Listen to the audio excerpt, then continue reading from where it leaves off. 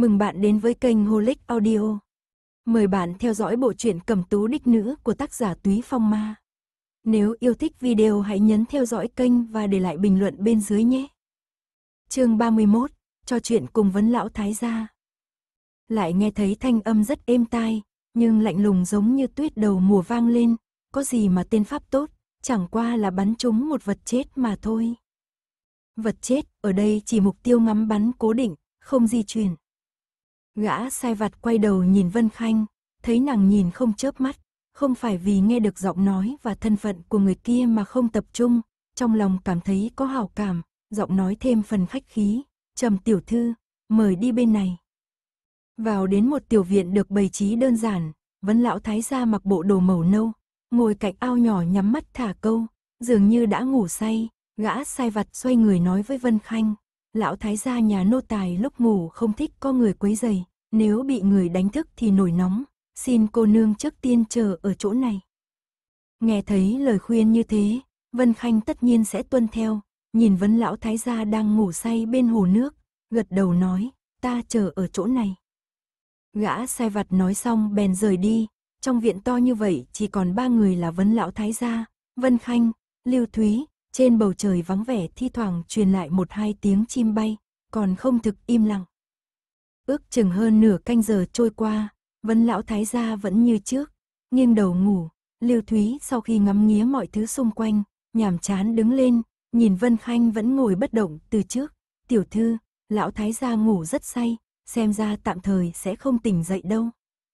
Ừ, ngày xuân dễ ngủ mà, đôi mắt nhìn qua mí mắt khẽ giật của vân lão thái gia, nàng thản nhiên cười, xem chừng lão thái gia vẫn còn muốn ngủ, em lấy sách thuốc lại đây, ta tranh thủ đọc thêm vài tờ vậy.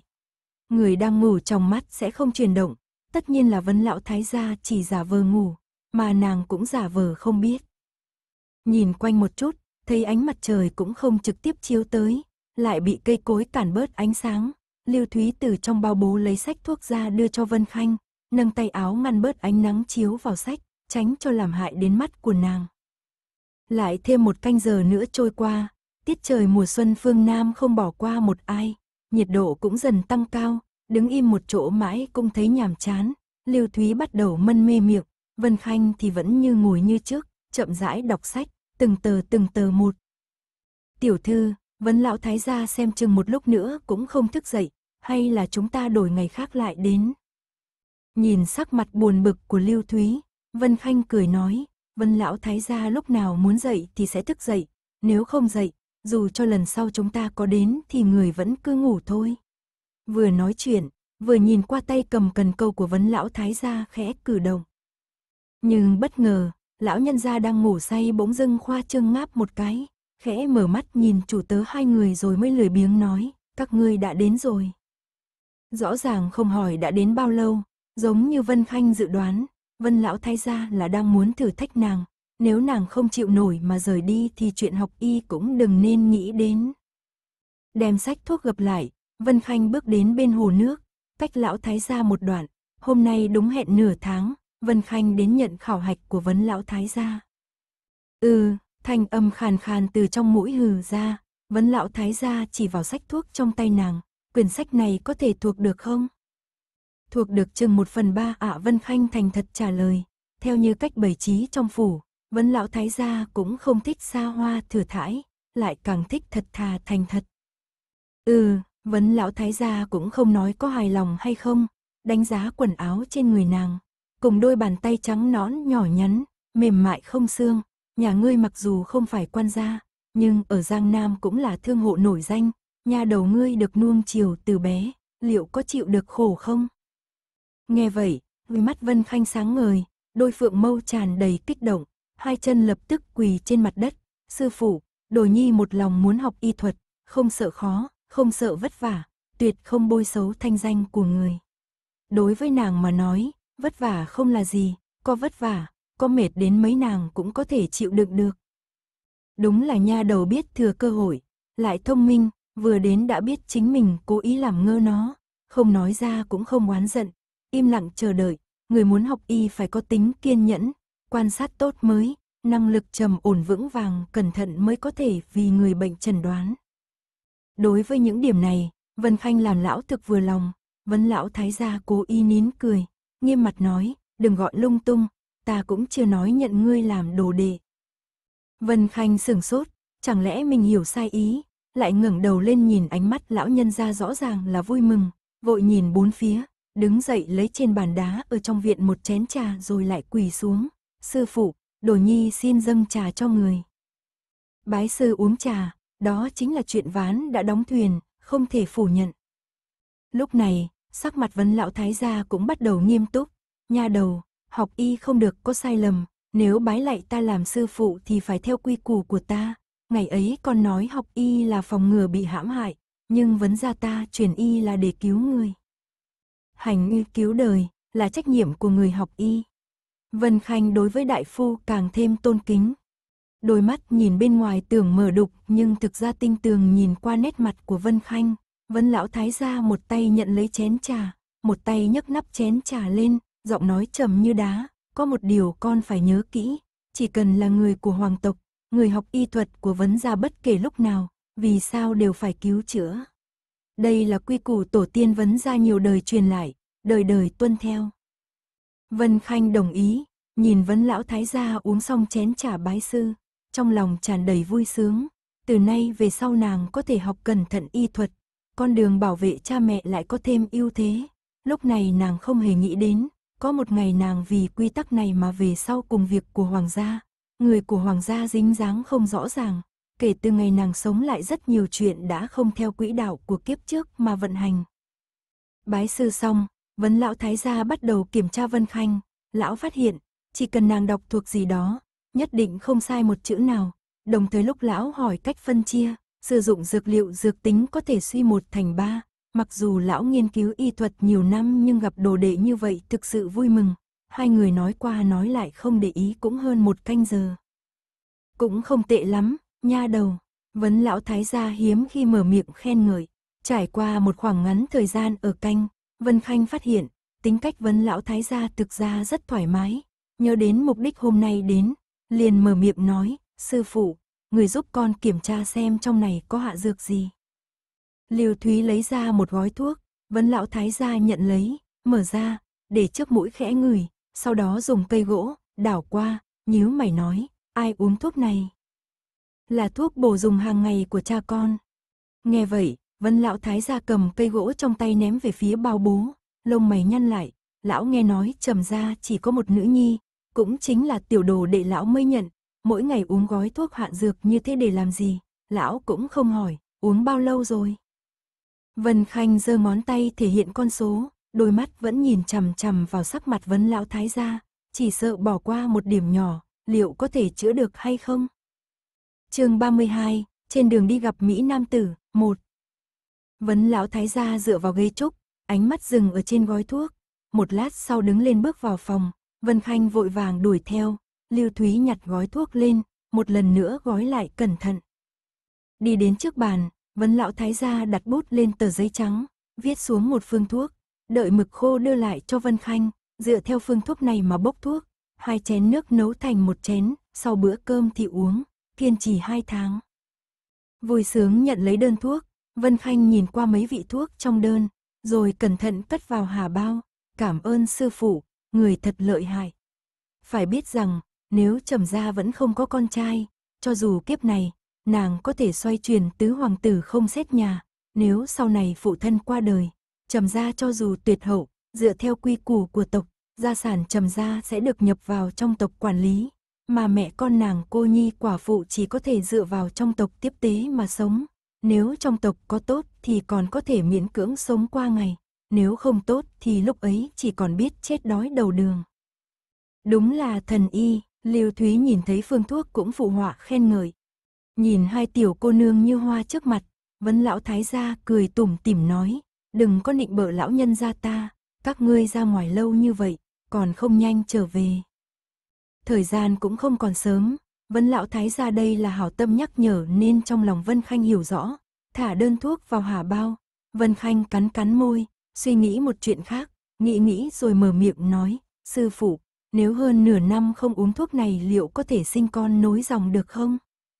Vấn lão thái gia rửa sạch bút, treo lên, Nghe thấy vậy dừng lại một chút rồi nói, nếu nửa năm ngừng uống thuốc, có lẽ sẽ có, dù sao liều thuốc cực nhỏ, người hạ dược có lẽ cũng sợ hãi dược tính quá lớn sẽ bị người phát hiện ra cho nên mới hạ vào thuốc bổ dùng quanh năm.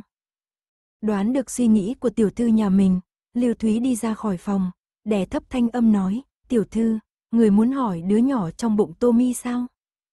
Đi ra khỏi sân của Vân Lão Thái gia, Vân Khanh thản nhiên gật đầu, ừ.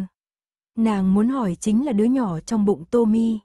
Nếu theo như lời Vân Lão Thái gia, trong bụng cô ta chính là đứa nhỏ của lão gia.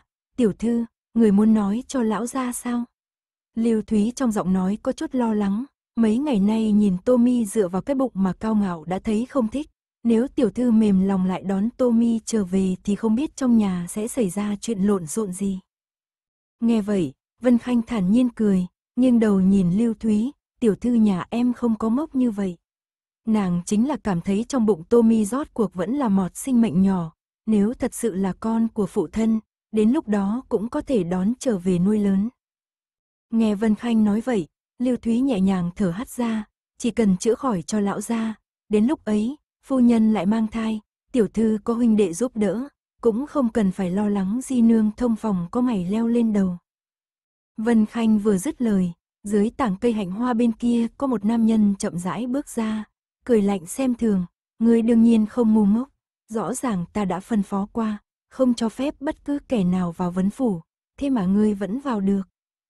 Mặt trời giữa trưa chiếu xuống làn làn da cảm thấy nóng rực, hạnh hoa trên đầu nở ra trắng tinh, xinh đẹp, nam nhân dựa vào cây, khuôn mặt nghiêng nghiêng, khiêu khích nhìn qua.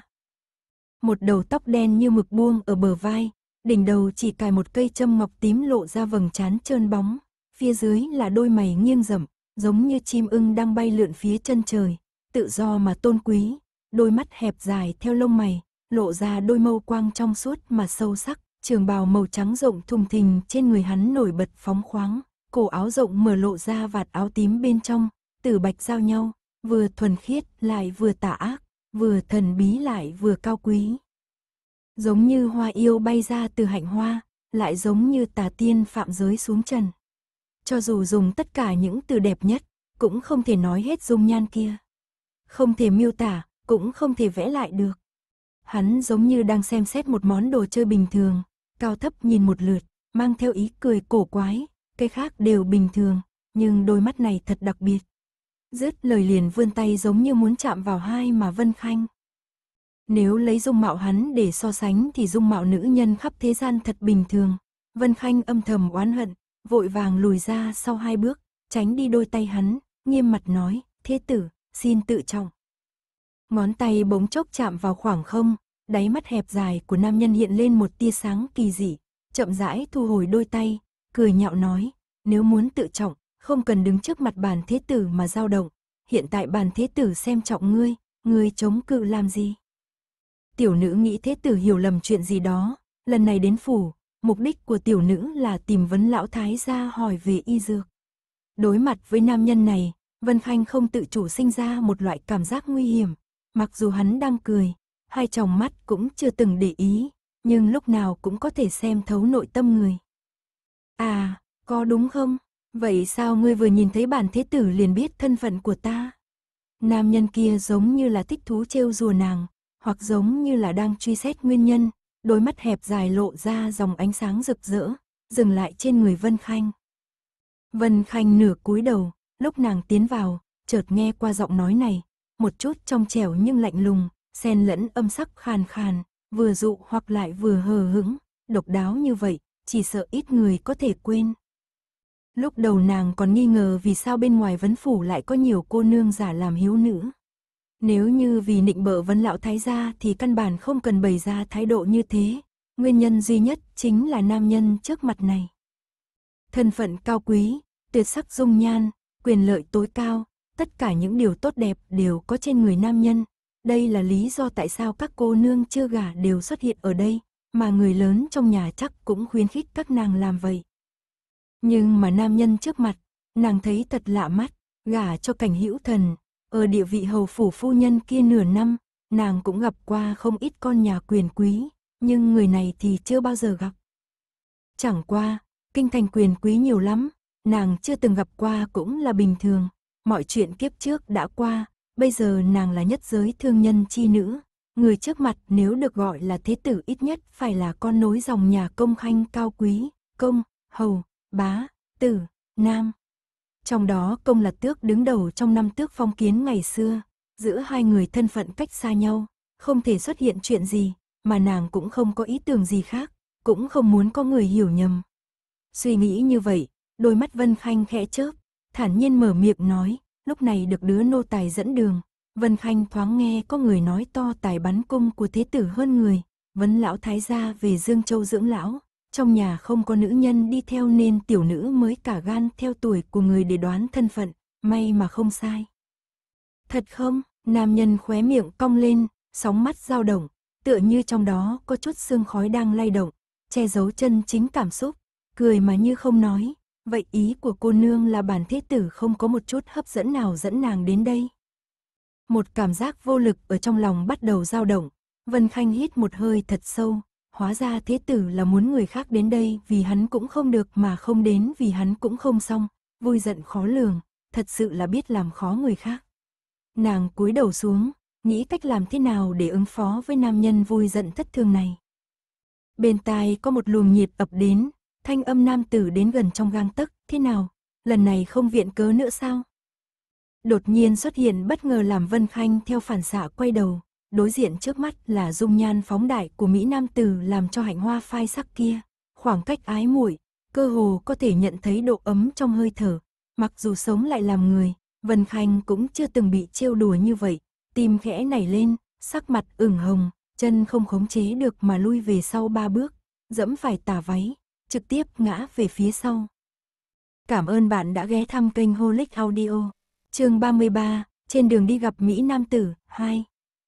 Một bàn tay to đỡ lấy thắt lưng nàng, vững vàng đem nàng ôm vào trong ngực, âm thanh cười nhạo có phần mang theo tức giận từ bên trên truyền đến, thật ngốc, đứng cũng không vững. Liêu Thúy thấy vậy vội vã chạy lại, Vân Khanh cúi đầu dùng ánh mắt nhìn mới khiến nha đầu này đứng lại, thế tử này không biết tính tình như thế nào, nếu Lưu Thúy chọc giận hắn thì rất khó xử. Khoảng cách giữa hai người thật gần, hơi nóng khi hắn nói chuyện giống như gió mát nhẹ nhàng chiêu đùa vành tay nàng. Vân Khanh cố gắng dạy dỗ, khuôn mặt vì tức giận mà đỏ bừng, đáy mắt tràn đầy buồn bực. Thế tử, xin người buông tay, tiểu nữ mặc dù còn nhỏ nhưng cũng hiểu nam nữ 7 tuổi không giống nhau, người không thể vô lễ như vậy được. Không biết có phải là do dãy dụa mới có tác dụng hay là vì gì khác. Nam nhân thấy vẻ mặt tức giận của nàng, theo bản năng buông lỏng đôi tay, còn người đen nhánh híp lại, nhíu mày nhìn Vân Khanh, đùa giỡn, nàng lớn tiếng như vậy không sợ làm người khác đến đấy nhìn thấy nói nàng yêu thương nhung nhớ ta sao? Là ai yêu thương nhung nhớ? Rõ ràng chính hắn ôm lấy nàng, đối mặt với người như vậy đúng là không thể nói đạo lý. Vân Khanh vội vàng cách xa hắn, lạnh lùng nói, nếu thế tử không qua đây, cho dù là ngã chết tiểu nữ cũng không ngã vào lòng người.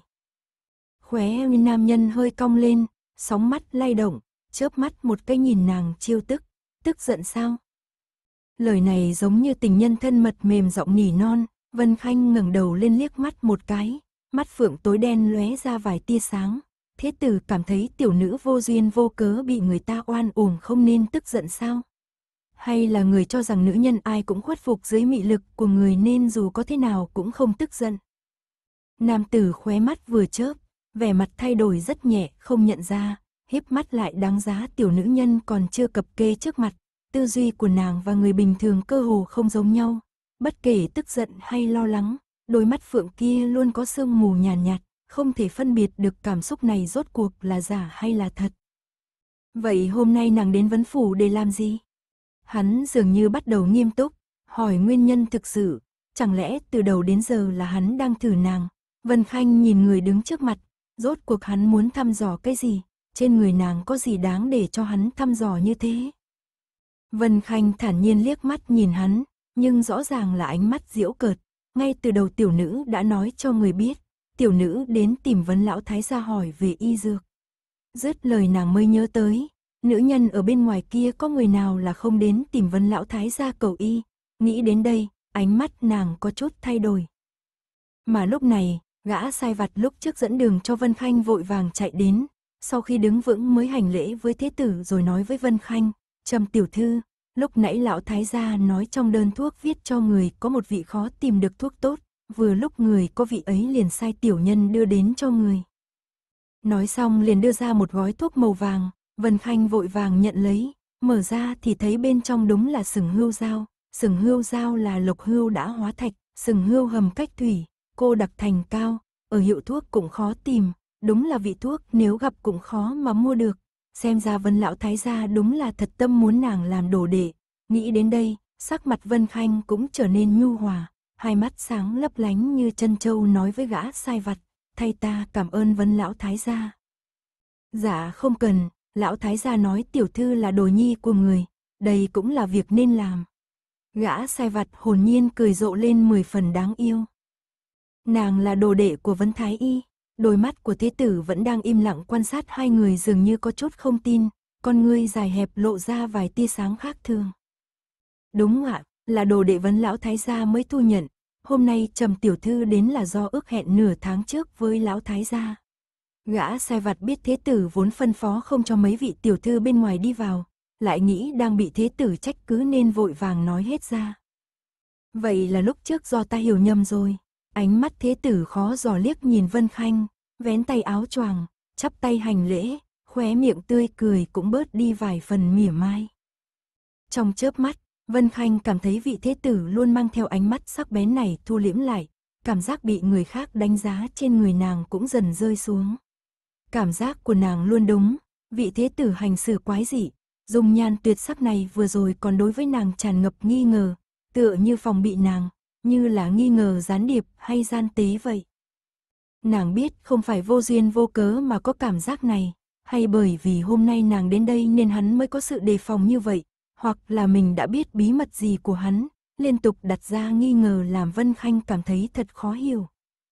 Chẳng qua nàng không muốn đứng lại ở chỗ này để ngẫm nghĩ, vừa rồi chỉ nói vài câu mà nàng đã cảm thấy mệt mỏi, đối mặt với hắn thản nhiên gật đầu, đã muộn rồi, tiểu nữ phải hồi phủ, thế tử, xin cáo từ. Mới vừa đi được hai bước, nam nhân kia mở miệng gọi nàng, chậm đã. Vân Khanh dùng lại, chưa quay đầu, lúc này ánh nắng buổi chiều dần nghiêng, trong tia sáng như có một tầng mây ngũ sắc nhuộm lên y phục tơ lụa, nàng đứng trong hoa cỏ, nhìn lên bóng dáng tụa như đóa bách hợp đang đà nở rộ, trong sáng thanh cao, lại xa xôi không thể nắm bắt, trong lòng nam tử rung động, giống như dây đàn đột nhiên bị chạm vào, ở trong tim vang lên một tiếng. Hắn chậm chạp mở miệng, giọng nói khàn đục, ta là ngự phượng đàn. Nghe vậy, Lương Vân Khanh cứng đờ, thẳng tắp, nhưng trong nháy mắt khôi phục lại nguyên dạng, cũng không quay đầu, cứ thế bước thẳng ra ngoài. Người bên ngoài đã rời đi, vấn phủ cũng đã yên tĩnh như trước. Cho đến khi ngồi trong xe ngựa, nàng mới thở hắt ra một hơi, dựa vào đệm gấm trải trong xe, ánh mắt có chút nhớ lại. Ngự phượng đàn, hóa ra hắn chính là ngự phượng đàn, nàng từng nghe nói qua tên này, con trai trưởng vợ cả của Cẩn Vương, chấn Tây tướng quân uy danh lan xa, hôm nay gặp mặt dung mạo quả giống như lời đồn đại. Hắn chỉ mới 18 tuổi, tuổi trẻ kiêu ngạo, lại phóng đãng tùy tiện, mọi người chỉ biết tuổi trẻ ngông cuồng, nhưng không ai nghĩ đến một ngôi sao còn đang đà bay cao hết sức cuối cùng lại vì lý do gì mà rơi xuống. Khi xe ngựa vẫn đều đặn hướng về phía trầm phù mà chạy, ngự phượng đàn thu hồi tầm mắt, đi về phía sân của vấn lão thái gia. Thế nào, vừa rồi nghe Minh Nhi nói ngươi gây chuyện với tiểu cô nương nhà người ta. Vấn lão thái gia vuốt tròm dâu hoa dâm, nhìn nam nhân nghênh ngang đi vào, trực tiếp ngồi lên ghế chốc mà hỏi. Minh Nhi là tên sai vặt dẫn đường lúc nãy, cũng là đứa nô tài bên cạnh vấn lão thái gia. Ngự phượng đang liếc mặt một cái, rõ ràng đạm nhạt mà làm cho Minh Nhi sợ đến mức trốn sau lưng lão thái gia. Vân lão thái gia hiếp mắt, ngươi đừng dọa nó, nó nhìn thấy ngươi khó dễ đồ đệ của ta nên mới nói thôi. Chậm rãi thu hồi ánh mắt, ngự phượng đàn một tay khoát sau đầu, tóc đen rơi xuống ghế trúc giống như gấm vóc, con ngươi hẹp dài nhìn lên bầu trời, lười nhắc nói, ta nghĩ nàng phát hiện ta là hắc y nhân hôm nọ nên muốn thử. Mà dựa vào lần dò xét lúc nãy, nàng không nhận ra hắn, không nghi ngờ hắc y nhân kia là hắn.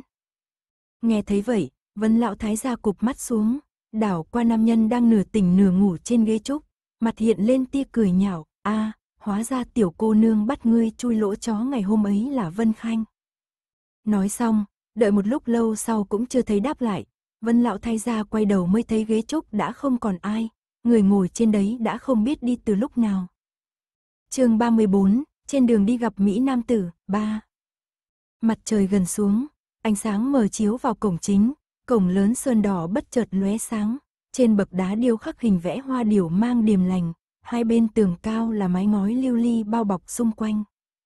Vân Khanh xuống xe ngựa đứng trước cửa, ngẩng đầu nhìn hai chữ to nhũ vàng trầm phủ trên nền sơn đen, đây là ông cố tốn ngàn vàng cầu thư pháp danh gia viết cho, y thái phong lưu, khi thế tràn đầy, chỉ nhìn môn bài có thể nhìn ra chủ nhân gia môn vinh hoa phú quý. Đây từng là trầm phủ ở Dương Châu không ai không biết, nhưng liệu ai có ngờ vài năm sau nơi này là nhà cũ hoang vu, dán giấy niêm phong của triều đình, hoang tàn vắng vẻ. Nghĩ đến chuyện của kiếp trước, Vân Khanh chỉ cảm thấy hai mắt vi sáp, thu hồi ánh nhìn, nàng bước vào trong phủ. Về quy nhạn các, Vân Khanh tắm gội, thay y phục xong mới dẫn theo Lưu Thúy, cầm đơn thuốc và gói thuốc kia đi về viện của tạ thị. Lúc này đang là bữa tối, nha hoàn bà tử trong viện đang bận rộn, nhìn Vân Khanh đi đến liền hành lễ, tiểu thư đã đến. Nghe tiếng, phỉ thúy vội vàng đi ra, hành lễ nói, nô tỳ gặp qua tiểu thư. Vân Khanh ngửi thấy trong phòng có mùi thuốc, biết tạ thị ngày hôm qua chắc chắn bị bệnh, nhìn thoáng qua hỏi, phu nhân thế nào? Phu nhân không sao ạ, người đang uống thuốc. Phỉ Thúy nhẹ nhàng nói, lại thấp giọng nói thêm một câu, lão gia cũng vừa đây, người đang ở bên trong, nghe nói người vừa nổi dân ở tiền viện. Vân Khanh nhíu mày nhìn sang, Phỉ Thúy nhẹ nhàng gật đầu, điều này nghĩa là Trầm Mậu đã khám qua đại phu, kết quả hẳn là không tốt. Việc này Vân Khanh không lo lắng, nàng có phương thuốc mà vấn lão thái gia kê cho, nếu lão thái gia nói có thể thì nhất định sẽ tin tưởng được, chỉ là tâm tình không tốt, lúc này cha tìm đến mẫu thân chỉ sợ là có hiểm nghi, dù sao nhiều năm như vậy chỉ có tạ thị sinh con, nhưng người khác nửa điểm động tĩnh cũng không có, cái này tất sẽ làm cho người ta nghi ngờ. Lúc này, trầm màu đúng như Vân Khanh lo lắng, u ám ngồi nhìn tạ thị trước mặt, sáng sớm nay ông đã liên tục đến trần bệnh ở hai đại phu nổi tiếng Dương Châu, kết quả cùng đại phu ở hồi xuân quán là giống nhau. Nghĩ đến việc từ nay về sau ông mất đi khả năng dưỡng dục, đường đường là nam nhân đại lão gia, tâm trạng này đúng là phức tạp, vừa tức giận lại vừa sợ hãi, nổi giận một trận rồi lại nghĩ đến người đã hạ dược. Trong phủ không có con nối dòng, chỉ có tạ thị sinh hạ Vân Khanh, di nương thông phòng đều không có động tĩnh. Lúc tạ thị sinh Vân Khanh, thân mình bị tổn thương, đại phu nói qua sau này rất khó có thai, nếu như bà vì vị trí chủ mẫu mà hạ thuốc ông, làm cho người khác không có khả năng sinh dục, điều này cũng không phải không đúng. Ông càng nghĩ càng thấy có thể, dù sao những người khác làm chuyện như vậy đều không thể nào nói nổi, sinh hạ tử nữ mới là chỗ dựa lớn nhất của thiếp thất. Nhiều lần suy nghĩ, ông bưng chén trà lên, uống một ngụm, đang muốn mở miệng thì Vân Khanh vén rèm lên đi vào, nhìn qua tình cảnh trong sương phòng, tạ thị đang dựa vào đếm gấm nhồi hoa cúc, hổ phách nhận lấy chén thuốc vừa mới uống xong, Lý Mama đang rót trà để bà uống sạch miệng. Trầm mậu ngồi ở ghế hoàng mộc, trong mắt có vài phần lạnh lùng cứng rắn, vẻ mặt tâm sự nặng nề. Trong lòng nàng hiểu rõ, mỉm cười yếu ớt, hành lễ với hai người, Vân Khanh gặp qua cha, nương. Tạ thị gật đầu, Vân Khanh đến rồi. Vâng ạ, Vân Khanh mỉm cười đi đến bên cạnh Trầm Mậu, mềm mại nói, con nghe nói nương bị bệnh liền đến đây, hóa ra cha đã ở đây rồi, con với cha đúng là giống nhau, đều muốn đến thăm nương. Vốn đang chìm trong suy nghĩ, Trầm Mậu lúc này mới hồi phục tinh thần, lại nhìn Tạ thị đang tái nhợt trên giường nhớ đến ngày hôm qua bà nghe được bệnh trạng của mình mới ngã bệnh. Nhìn sắc mặt của ông thay đổi, Vân Khanh liếc nhìn Lý Ma Ma để bà cùng hổ phách lấy cớ lui xuống, trong phòng chỉ còn lại một nhà ba người. Vân Khanh từng bước tiến lên, đứng bên cạnh Trầm Mậu, từ từ mở miệng, "Cha, chuyện ngày hôm qua làm nương ngã xuống, thiếu chút nữa là ngất đi, đây là chuyện của cha mẹ." Vân Khanh không tiện xen vào, nhưng đây là chuyện lớn của Trầm phủ, là con gái của Trầm gia, con không thể bỏ qua được. Trầm Mậu bắt đầu cảm thấy khó xử, dù thế nào, nữ nhi còn chưa cập kê, ở trước mặt con gái nói những chuyện này đúng là không ổn, nhưng xem thái độ kiên quyết của nàng, lời nói chắc chắn liền không tự chủ được mà nghe theo. Mấy năm nay, nương luôn hy vọng chính mình và các di nương trong phủ có thể sinh cho cha đệ đệ nối dõi tông đường, bái Phật, làm việc thiện không có việc gì không làm chỉ tiếc là không có kết quả. May là ông trời có mắt, cơ duyên xảo hợp mới phát hiện ra có người ở trong thuốc bỏ hạ dược hại người. Người này dụng tâm ác độc, không đơn giản là làm cho trầm gia ta tuyệt hậu, mà còn muốn trầm gia mất sạch tài sản. Nói không tốt, nếu ngày nào đó cha mất đi, Nương và Vân Khanh cũng không còn chỗ dựa. Vân Khanh nói xong, thanh âm nghẹn ngào, nước mắt trào ra, tiếng khóc nức nở mang theo vài phần chua xót. Trầm Mậu nghe xong trong lòng mềm nhũn, nữ nhi nói đúng thật là có lý, vị trí đương gia chủ mẫu của Tạ thị ông vẫn luôn thừa nhận, không có ý đổi người khác, cho dù là di nương thông phòng sinh hạ nhi tử, ông cũng lấy danh nghĩa Tạ thị nuôi dưỡng làm con trai trưởng, dù nói thế nào, Tạ thị đều là mẹ cả, nhi tử sau khi trưởng thành cũng hiếu thuận nàng, còn nếu ngày nào đó ông chết, dưới gối không có con trai, trong tộc cũng đem tài sản thu về hơn một nửa, tạ thị cũng không chiếm được cái gì, bà nếu làm vậy thì chỉ có hại mà không có lợi. Nghĩ đến đây, ý định muốn chất vấn tạ thị của ông không còn, đau lòng đem khuôn mặt nhỏ nhắn đầy nước mắt của nữ nhi lau khô, nhìn tạ thị nói, phu nhân không cần nghĩ nhiều như vậy, mọi việc đã xảy ra, cũng không còn biện pháp. Cũng không thể trách trầm mậu u ám, trầm ra cả đời dốc sức làm ăn, vất vả tích lũy để có được tài phú to lớn, nếu là người khác, có mấy người có thể cam lòng. Vân Khanh nói những lời kia là để đánh tan nghi ngờ của Trầm Mậu với Tạ Thị, thấy đạt hiệu quả như mong đợi, vừa vặn cơ hội đến, liền lau khô nước mắt cười nói, điều này cũng chưa chắc. Chợt thấy nữ nhi nín khóc thành cười, Trầm Mậu có phần nghi hoặc Tạ Thị cũng biết hôm nay nàng đi đến phủ vấn lão thái gia, đôi lông mày nhăn lại, vội vàng nói, là vân lão thái gia có cách sao? Vừa nghe đến vân lão thái gia, hai mắt trầm mậu tỏa sáng, ông mới trở về không lâu, mơ hồ nghe thấy, liền mong đợi nhìn Vân Khanh. Thấy ánh mắt cha mẹ tha thiết, trong lòng Vân Khanh nổi lên một chút tự hào, nàng cũng có thể vì phụ mẫu trừ bỏ sầu lo, từ trong hà bao lấy ra đơn thuốc đưa cho trầm mậu, đây là đơn thuốc Vân Lão Thái gia khai, dựa theo đơn thuốc này để điều dưỡng, hai tháng sau sẽ có kết quả tốt. Thật sư, tạ thị vui mừng từ trên giường ngồi thẳng dậy, hai mắt sáng rực, trầm mậu cũng mừng rỡ, mây đen trong phòng coi như tan đi, thấy tạ thị nhìn sang, ông bước đến ngồi ở đầu giường, đưa đơn thuốc cho tạ thị xem. Tốt rồi, cuối cùng thì thiếp cũng yên tâm, tạ thị cầm đơn thuốc, nước mắt chảy ra, lão ra, người nhanh sai người theo đơn thuốc đi bốc dược, nhất định phải sai người có thể tin cậy. Cha khỏe mạnh là phúc của cả nhà. Vân Khanh cười nói, Trầm Mậu lại thêm vui vẻ, nói vài câu rồi vội vàng ra ngoài bốc thuốc. Đợi Trầm Mậu ra ngoài, sắc mặt tạ thị cũng trầm xuống. Bà trưởng quản trong phủ nhiều năm như vậy, thế mà lại để người ta ngay dưới mắt mình hạ dược lão ra, làm đương gia chủ mẫu sao có thể nhịn được. Lúc trước giấu giếm là vì tạm thời không thể đem sự tình làm náo động, nay biết Trầm Mậu có thể chữa khỏi liền không hề sợ hãi, giận dữ nói, đúng là tiểu nhân đê tiện, có thể làm ra chuyện ác độc như vậy, dù ta lật tung trầm phủ cũng phải bắt được hắn. Vân Khanh nghe vậy, rời bước đến bên giường, nhìn vào đôi mắt phẫn nộ của tạ thị, cầm lấy tay bà nói, nương, không thể nóng vội làm to chuyện được. chương 35, trên đường đi gặp Mỹ Nam Tử, ba. Lưu Thúy ngủ ở gian ngoài, nghe thấy tiếng ồn liền đứng dậy mặc thêm áo ngoài, đốt đèn, chỉ trong chốc lát, bên ngoài quy nhạn các liền vang lên âm thanh xô đầy. Vân Khanh vốn không ngủ, lúc này nghe thấy tiếng ồn, biết được việc mong chờ đã đến, lập tức mặc thêm kiện áo choàng xanh lam vân mây, nhẹ nhàng bước ra ngồi xuống ghế trong phòng, Lưu Thúy rót cho nàng một chén mật trà để ở trong tay giữ ấm. Lúc này trong viện đã có một đám nha hoàn bà tử dẫn theo một người, Lý Ma Ma dẫn đầu trong đó, tiểu nha hoàn gác đêm thắp sáng đèn trong viện, toàn bộ sân đột nhiên sáng bừng lên, chiếu rọi khuôn mặt người đang bị áp đến, cũng là bà tử trông coi mà Vân Khanh gặp ở khố phòng.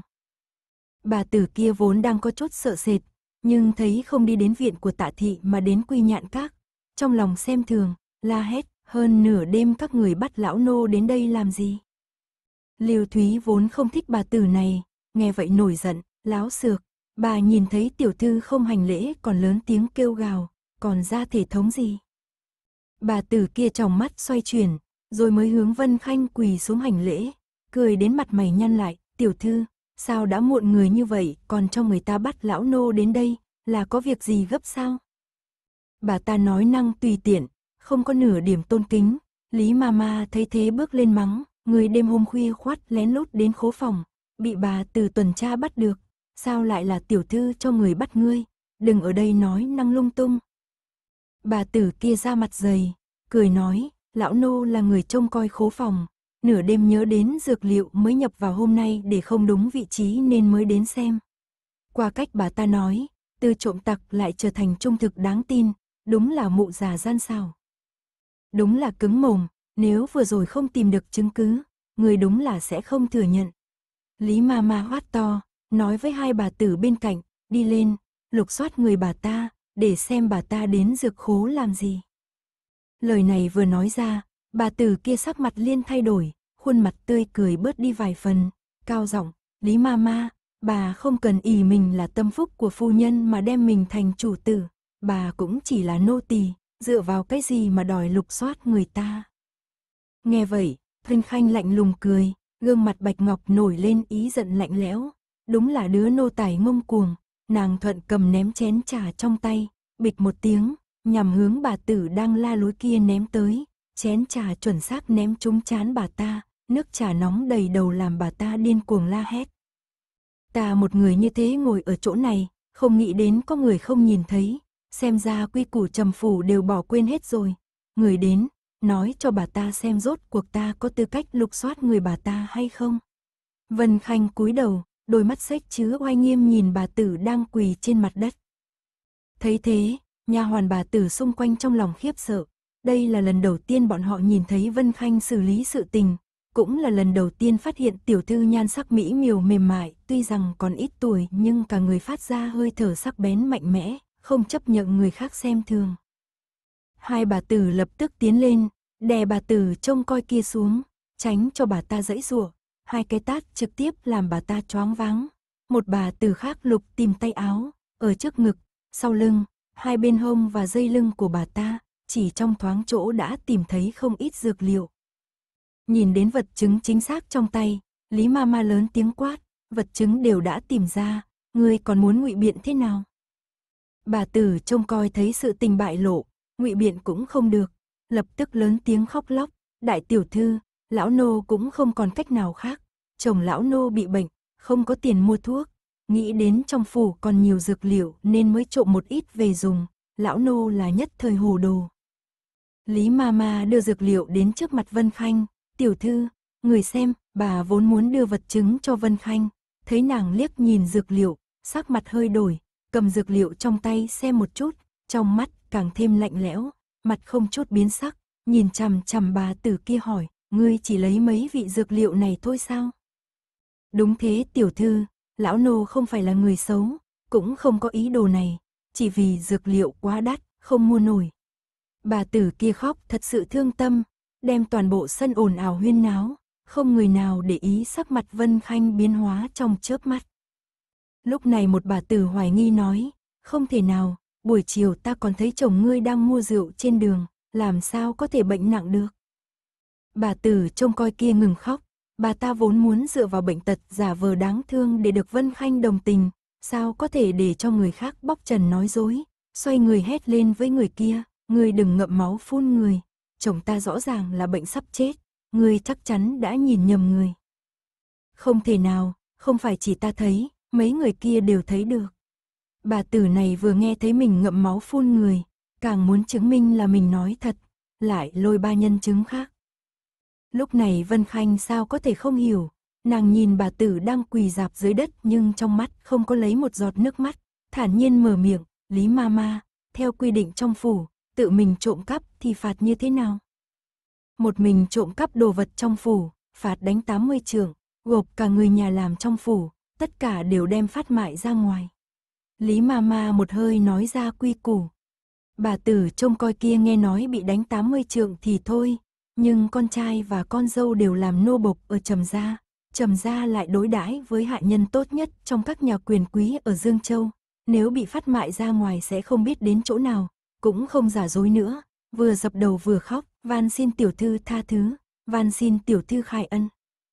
Vân Khanh thản nhiên nhìn lướt qua, lông mày nhăn lại, Lý Mama lập tức hiểu ý, liền bảo bà tử nhét rẻ vào miệng bà ta, lôi ra ngoài.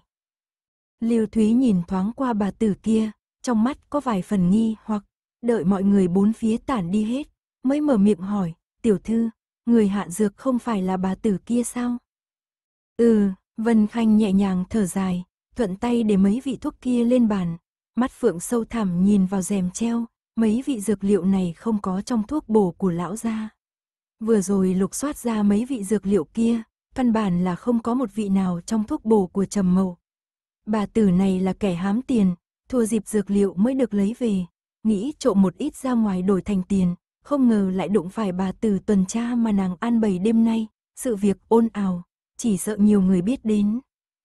Vậy lần sắp xếp này không phải, trong lòng Lưu Thúy hận bà tử kia đến nghiến răng, tiểu thư bày trí tỉ mỉ kế sách như vậy lại bị bà ta phá hỏng. Cũng không hẳn, đợi thêm vài ngày nữa đi. Vân Khanh ngẩng đầu nhìn khố phòng, khép lại vạt áo, xoay người bước vào trong phòng. Mà lúc này, góc khuất bên cạnh khố phòng, một bóng đen lẳng lặng đứng thẳng, đợi mọi người rời đi mới chậm chạp quay người đi. May mắn tối nay không ra tay, nếu không bị bắt chính là mình. Phần này đến đây là hết. Mời các bạn theo dõi tiếp các video khác trên kênh. Nếu các bạn yêu thích kênh, hãy nhấn theo dõi nhé. Cảm ơn các bạn.